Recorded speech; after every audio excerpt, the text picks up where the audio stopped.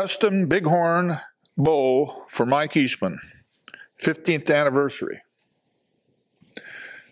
Well, folks, glad you can join me here. Mike Eastman's Blazed Trails Forgotten. Uh, I was sitting in my office the other day and I just glanced over at this bow. I got it hanging there right next to a Pope and Young antelope I took with this recurve.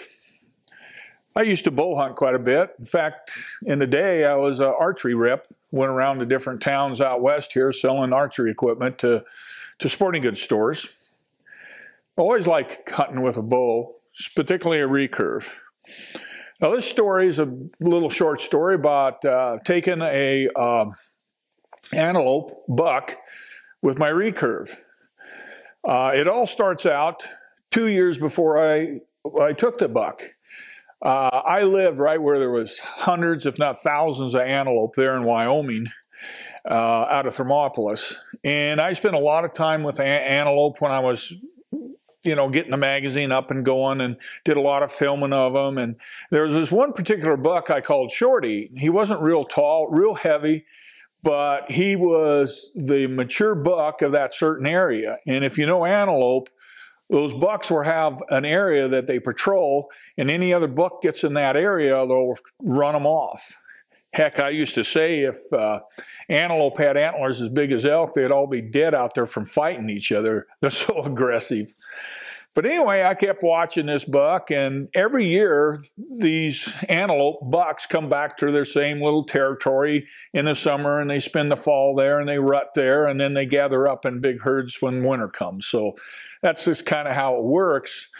But I kept watching this buck for the last two years before I hunted him. I was I was kind of experimenting with uh, antelope decoys. And I got pretty good at it. I'll show you some footage here of me uh, using them. You can see me here getting right up on them.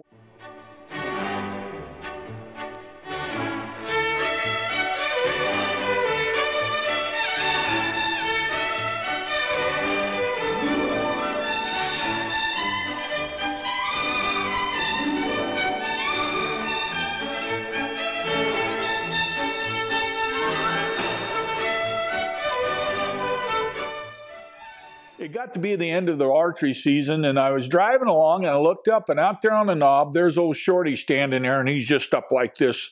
And and just to let you know, the last two years, he never changed any difference in his horns. They were all the same size. He never got any any taller than like almost 14 inches. He just was this, you know, nice Pope and Young buck, but not a Boone and Crockett he's very aggressive. So he was on a knob and he gave me an opportunity. And so I pulled off the road, snuck around, snuck up on the knob next to it, about 100 yards away, put up that uh, decoy, and uh, did a little uh, antelope call that old Ed Prody designed. And he looked up, and here he come, and I'm I'm uh, behind that uh, decoy, and I see him coming. And I've done enough of these that I know what happens when they come up to them, they come and they stop and they look at it, and then and then you have to come out and pull back, and you got about five to ten seconds because in their brain they sit there and go, what, what is this behind this antelope? They're trying to compute that before they go, oh, this ain't right, and they run off. And I just nailed him right in the heart. He ran out there 40 yards, boom, down he went dead. And uh, he goes Pope and Young pretty good buck. But you can see here all this footage I've had uh, uh, of, of doing that with these bucks, uh, getting up close to them. And this one footage here, I was out on the same knob the year before, and I was trying to get this buck you see here that uh, was a little bigger. He was over 14 inches, and uh, I got him right in.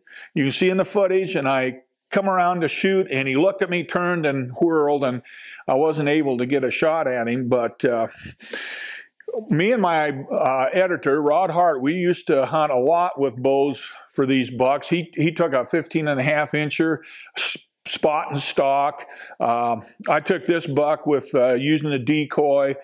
So, you know, this is just a little story about a little aggressive buck that I watched for two, three years in his little range, and he got to a point where I was able to to put up my decoy and have him call him in and be able to harvest him. And using uh, my bow. And yes, I am left-handed. So I hope you enjoyed this and the old footage of this. And we'll see you next time in another Mike Eastman's Blazed Trails Forgotten.